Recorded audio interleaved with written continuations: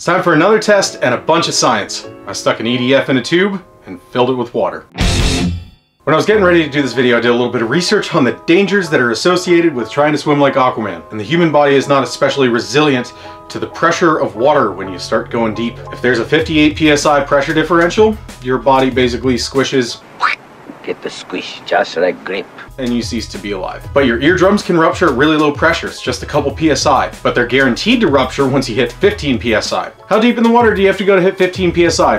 33 feet. And at the speed that I want to swim like Aquaman, that takes 1.5 seconds. So if you don't equalize, you implode your ears. And then you have to worry about the nitrogen problems. Have you ever heard of the bends? And then I'm gonna have EDFs on my legs, so what if they decide to spontaneously disassemble and uh, remove the lower parts of my legs? I'm kind of attached to them. Get it? And when I reach top speed, the amount of thrust that's coming out is going to be equal to the amount of force that's pushing back on me. The point is everything about this project is going to be kind of dangerous. But I'm still going to do my best to swim as fast as possible so that I can backflip out of the water like a majestic unicorn dolphin.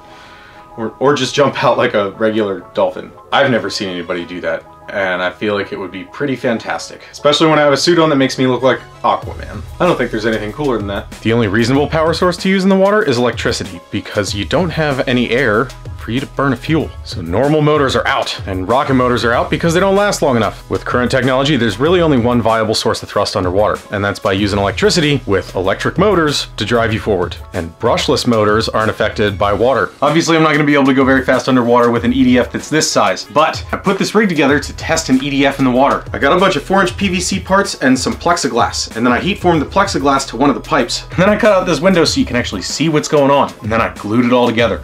And it was at that point that I realized that the build didn't matter, so I decided to skip it and just show you how it works. This moves very freely. It's on a bunch of greased washers. The EDF is the same distance from the pivot point as where this pushes on the scale. So I'll get an accurate reading of how much thrust this is creating while it's in the water. Yep, and the reason it's in a loop is so that I can measure how much the thrust changes as the speed of the water increases. There's obviously gonna be more drag on this, but the angle of attack of the blades should be more efficient once the water starts to pick up speed.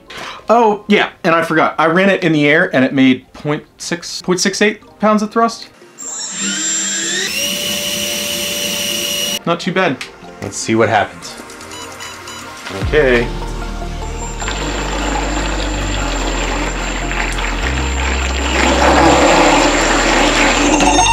Didn't like that.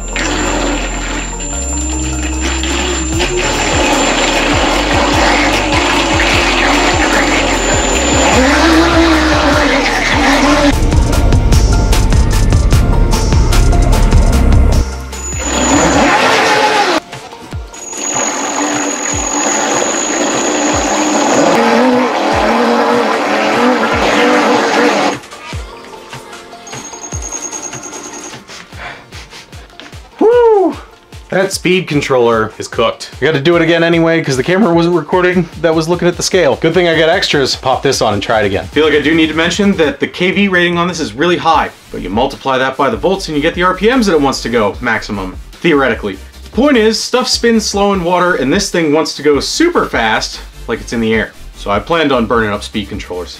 Okay, here we go, try number two. I'm gonna go a little less hard on the throttle and see if the thrust increases as the water speed increases. You can watch with me, because the camera's constant speed.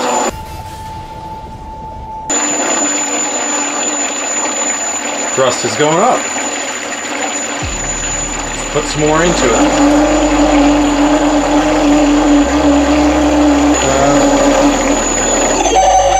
Speed controller's getting hot. Let's see how much thrust I can get.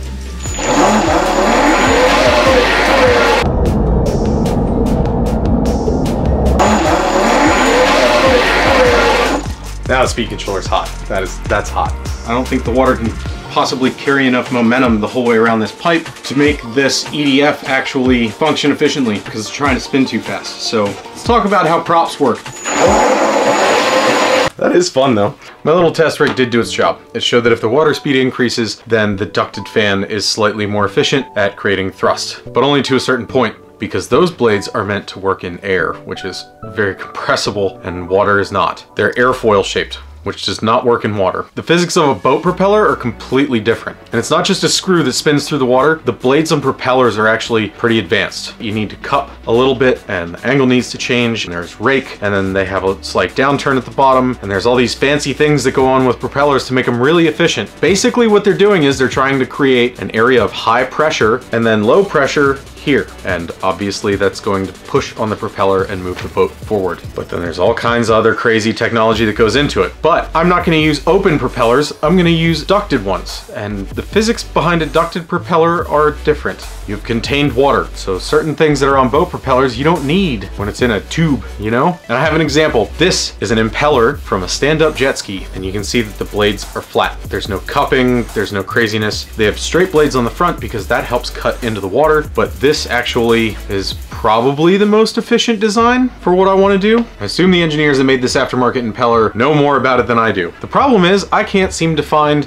an equivalent that's made out of plastic or designed to put onto a brushless motor that I'm going to strap to my legs. And I need them to be opposite each other. One to spin one way and one to spin the other. That way if there's two on each leg, the torque will cancel out and it won't try to twist my leg around because I plan on having a fair amount of power. So trying not to break my legs. But on a more interesting note, and I'll put a link to the math in the description, I found somebody that had done the math for how much drag the human body has in water. And I thought I was gonna have to go out to the lake and drag behind a friend's boat on a rope and then measure how much pull there was on the rope to figure out how much resistance there would be when I was in the water. Point is, that made it really easy to calculate how much force I'm gonna need to propel myself to a specific speed, given that their equations were accurate. But they seem like it, and provided that you're very slick in the water with this system, you're gonna need at least 36 pounds of thrust to get you to six miles an hour. And you'll see that the amount of drag goes up exponentially. As you get faster, the amount of thrust that you need becomes astronomically higher. At 10 miles an hour, you need 116 pounds of thrust, provided that you have very little drag. And at 15 miles an hour, you need 290 pounds of thrust. I don't know how I feel about 290 pounds of thrust. It's a lot. But if I jumped straight out of the water at 15 miles an hour, I would be able to jump like a dolphin. And I did the math for that, and without regard to air resistance, I would be able to jump seven and a half feet out of the water from the point that I stopped creating thrust, which would be my feet. So my feet would get seven and a half feet out of the water, which would be awesome. But if I could reach 20 miles an hour, which is how fast dolphins actually swim, and I jumped straight out of the water, I'd be able to reach a height of 13 and a half feet, which would be pretty fantastic. You ever seen those dolphin shows where the dolphin flies up and pokes the ball with his nose? How cool would it be to be able to do that? 13 and a half feet is enough to jump out of the water and land on somebody's roof on a one-story house. Can't tell me that wouldn't be cool. But knowing that information, I know what I need to get to be able to accomplish it because I know how much thrust I'm gonna have to create. That'll translate to how much power I need in the motors. And I'll be able to figure out what the angle of the impeller blades should be, assuming 70%, well, you're supposed to assume 80% efficiency, but I'm gonna assume that whatever I come up with for my impeller is probably only gonna reach 70% efficiency. So I calculate that. And that's actually really easy to do because you know your RPMs that your motor is gonna try to run at. So you calculate for less than peak RPM because it's never gonna reach that. And then you take the angle of the prop blade and you can extrapolate that by measuring the circumference and drawing a line at the same angle as the impeller blades. And then wherever that stops, you've got your distance. That's how much distance you cover in one revolution. And then you take that revolution and you extrapolate with your RPM. And then you know how fast you're gonna go. It's all just little conversions, but I can use math and I already did the math and the parts that I need are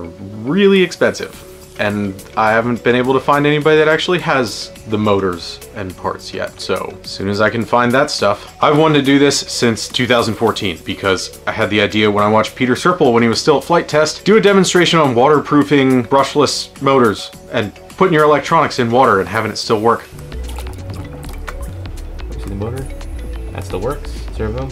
That still works. And when I saw that, I was like, ooh, I could make Aquaman thrusters, but I never got around to it. But now is the perfect time to do it. And I know a lot of other people have done it, like Peter Sripol, because he got those T100 thrusters from some company. Rulof Maker did it, kind of. Jay Laser kinda did it. And Eclectical Engineering did it. And there's supposed to be companies that are coming out with stuff like that that have done it. But I don't care, because I'm gonna do it better. And I'm gonna look like Aquaman. And I'm gonna go faster, and I'm gonna jump higher, and it's gonna be awesome. Yep, the problem is I either need to have things made custom for it, or find them. You Can't just make this stuff custom with like an angle grinder and a chunk of plastic in your garage. Until I get that stuff, I'm gonna have to put this project on hold a little bit, but I'm gonna turn myself into a different superhero. And that project is gonna be it's gonna be great. So make sure you subscribe to catch that one and like the video and all, whatever. Thanks for watching. Did I forget anything? The fastest underwater personal, the fastest thing you can take underwater with you that makes you swim real fast is this thing that's like half the size of a jet ski that you hold out in front of you. It's made in Germany. It's called the Sea Bob, but it's gigantic and it drags you through the water. It does 12.4 miles per hour underwater and it uses 4.5 kilowatts to do that. At least that's what it says. Especially if they're lying about its top speed. It's probably with a child dragging behind it. So obviously I'm gonna need more than that.